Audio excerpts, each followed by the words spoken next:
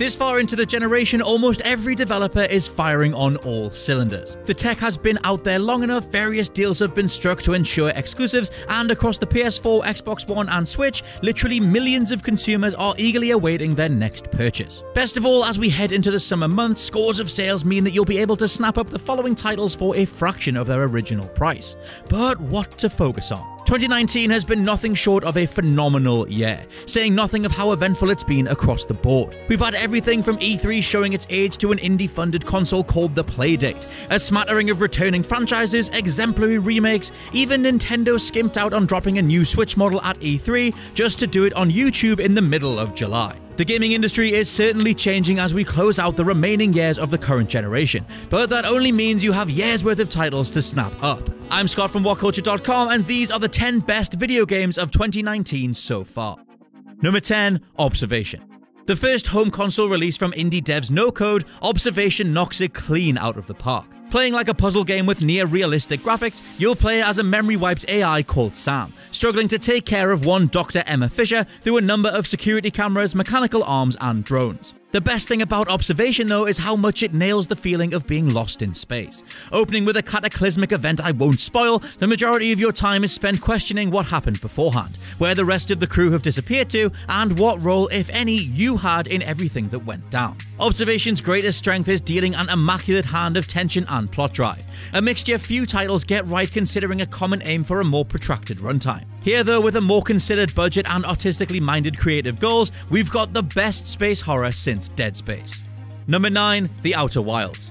2019 is the year indie games truly stepped up to hang with the AAAs, at least when it comes to overall graphical quality and the size of what you're buying. I've already mentioned Observation and something like Hellblade elevated the indie label in the first place, but The Outer Wilds is a thoroughly genius title that almost feels like the Witness's environment manipulating puzzles, twinned with the idea of playing lore that was in Transistor. Where in the latter you were equipping different character loadouts to unlock the entire story, Outer Wilds doesn't have any combat whatsoever. Instead, you'll have to access a number of different gadgets and tools, but gameplay consists of interacting with runes, computer screens, ancient monoliths, and more. Story-wise, you're locked in a time loop, tasked with understanding an ancient race of aliens to try and restore the flow of reality going forward.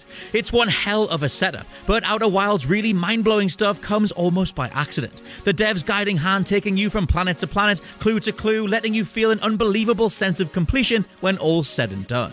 Number 8. A Plague Tale Innocence Feeling like the first time Asobo Studio have gotten to use their sizable talents for an original creation in years, they've swapped out working with Ubisoft and Microsoft to take us on a surprisingly brutal journey through 1300s France. Directly inspired by the likes of The Last of Us and Brothers A Tale of Two Sons, siblings Amicia and Hugo are up against Inquisition soldiers and the game's most disgusting enemy.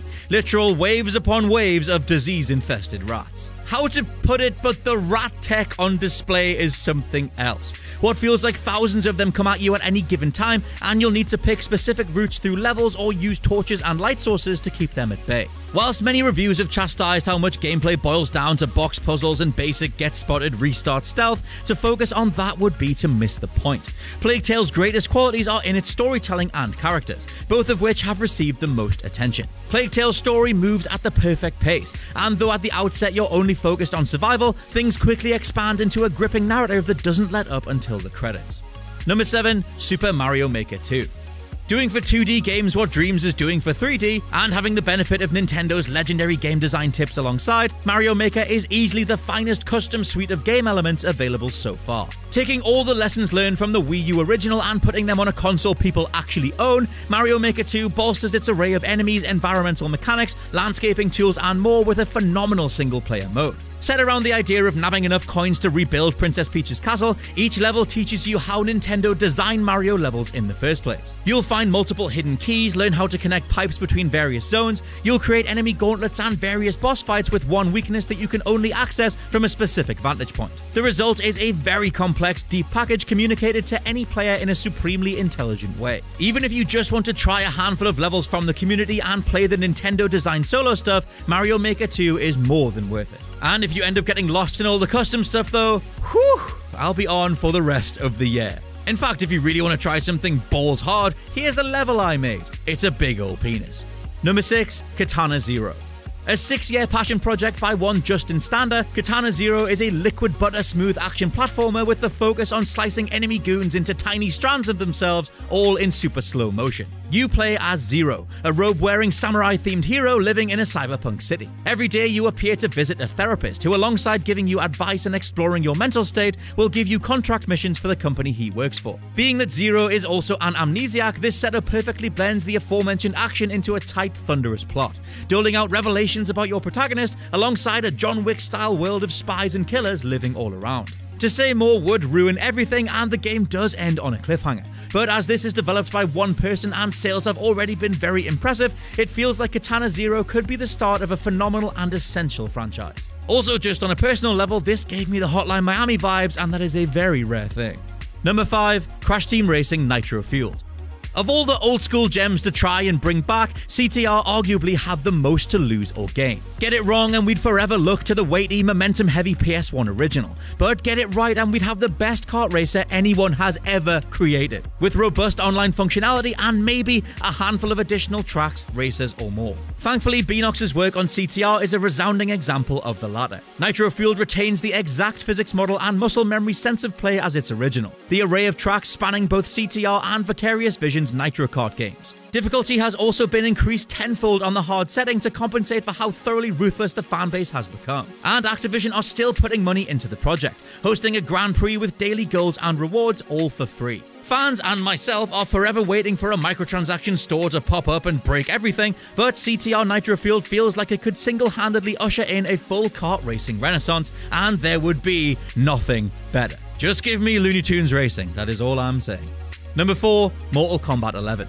If we're talking about games that change and transform to become games as a service, Mortal Kombat 11's launch was dogged by a god-awful in-game economy and a reliance on microtransactions to get away from some impossible difficulty spikes. Thankfully, it only took a couple of weeks for NetherRealm and Warner Brothers to respond, now turning Mortal Kombat 11 into the sort of experience you can dip into on a daily or weekly basis, trying to see every last piece of unlockable armor or customization equipment. Because MK11 does for the core mythos what Injustice did for DC Comics. Here, everyone from Scorpion to Cassie Cage can be specced out in elaborate gear, supplanting one of the best stories NetherRealm have ever put together with endless combat towers you can get completely lost in. As for the story itself, it feels like the devs and creative lead Ed Boon wanted to soft reboot the franchise, killing off or permanently changing many main characters, all to service what could be another few decades worth of sequels and spin offs. It might have totally stumbled out of the gate, but MK11's solid mix of technical fighting, gore happy thrills, and superhero rivaling character abilities remains one for the generation. Number 3 Resident Evil 2. Of all the remakes and remasters that have come our way this generation, Resident Evil 2 will forever be held up as the way to do it. Yes, Crash Team Racing is solid, yes, Spyro and Crash are solid as trilogies, but Capcom reapproaching RE2 with 20 years worth of knowledge and lessons from the past, this is a whole new way to even do that original subject matter, and we've come away with an altogether different gameplay feel, but one that might arguably be better than its seminal original. This time around, RE2 cribs from RE4. Gone is the aimless hope for the best combat on PS1, and in is one of the best gore models you've ever seen. Arms, heads, limbs all break apart realistically, resulting in some truly horrifying imagery. You can nail a headshot, but it'll result in a zombie dragging its own cranium your way as if the body is propelled by sheer will alone. That overall idea of everything being recreated with hyper detail extends to the police station itself, a layered, overlapping environment that you'll revisit multiple times to finally see everything. All in all, this is video game royalty doing the impossible and revisiting one of the best games ever made,